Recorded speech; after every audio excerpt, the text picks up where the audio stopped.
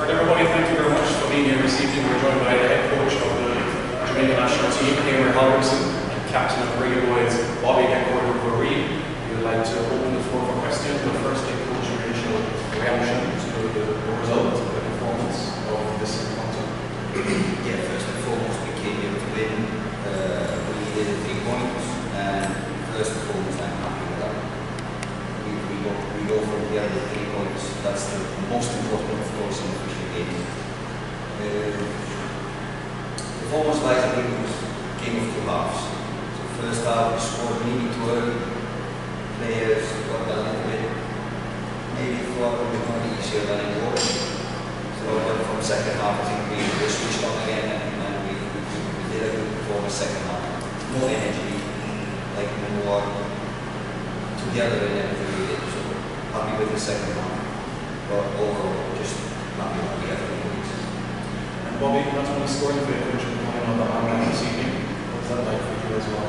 Yeah, it's, it's a proud moment for me and my family um, to lead that team today. And first and foremost, um, everyone has to be a leader on the pitch. We want to set our country and everyone can pull together one way or another.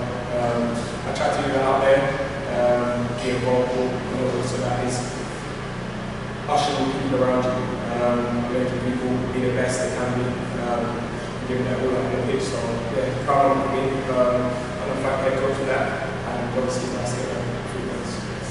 Thanks very much, Bobby. Now we'll open the floor for questions here from the Yeah. football 19 division. Yeah, coach, only two games today, three games um, plus travel.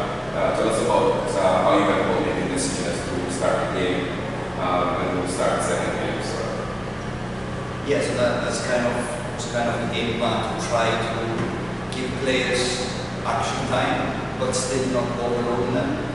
Um, maybe the first half, I don't know, they come back from Grenada in the first half, changed our mind a little bit what we kind of wanted to do. But anyway, we, we, we finished this game with three points, with uh, three goals in advance, and then without any injuries, which is the most important, of course.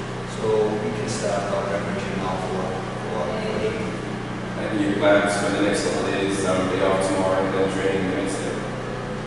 Yeah, so we're probably taking this an easy recovery session tomorrow. Uh, we did now after the game, I cool down and, and compensation for the guys who didn't play. Uh, and then we just have to be really smart tomorrow what we do. We get energy back before we play Haiti. We know that's going to be a very tough game. And a question, a question for Bobby. So uh, another goal, um, always special scoring for your country. How did it how did it feel? Yeah, it's nice. Um, obviously, first and foremost, get the three it's obviously good um, for me personally to, to get a goal late on is nice. Um, but yeah, always nice to get the three points um, in the first half. We started well, obviously got a goal which we needed to. Um, I think we had a, a lapse of concentration, which let them out of the game, gave them more energy. Um, and I think the second half we, changed things. Um, we realised to change our mentality on the pitch. Um, I thought we've done that, control the game, and deservedly got three points. All right, any follow-up questions from the Grenadian media? The? Uh, coach, I know um, you, you were looking to rest some of your players for this game, but you know, in any football game, tactics and, and strategy is important. Um, looking ahead to the Haiti game, uh, it's going to be a tough game.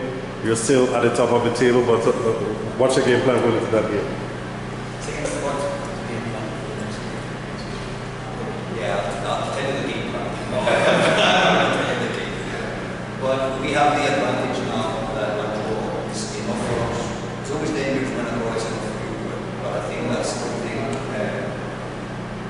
they did really well in, uh, in Jamaica. Uh, they slapped us two times in the face in the first 15 minutes and we just have to be ready from the first